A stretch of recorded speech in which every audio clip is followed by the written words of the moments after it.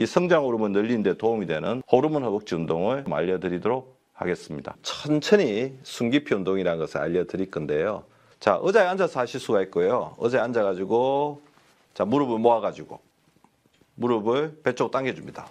올리면서 숨을 내쉬고 내리면서 들이마시고 올리면서 숨을 내쉬고 내리면서 숨을 들이마시고 올리면서 숨을 내쉬고 내리면서 숨을 들이마시고 자, 이 동작을 천천히 해주시는 게 중요하고요.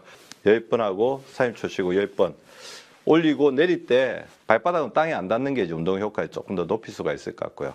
올 때 천천히 숨을 내쉬고 내릴 때 숨을 들이마시고 이런 동작 하는 의미가 뭐냐면 천천히 호흡에 집중해서 운동을 하다 보면 우리 허벅지에 있는 미토콘드리아가 최대 부하를 받았다고 착각해서 성장 호르몬을 많이 분비시키는 쪽으로 회로가 이렇게 만들어진다는 거죠. 하루에 이거 30분만 반드시 시간을 내서 해주시면 20대 성장 호르몬을 80대, 90대까지 유지하는 아, 건강한 생활을 할 수 있습니다.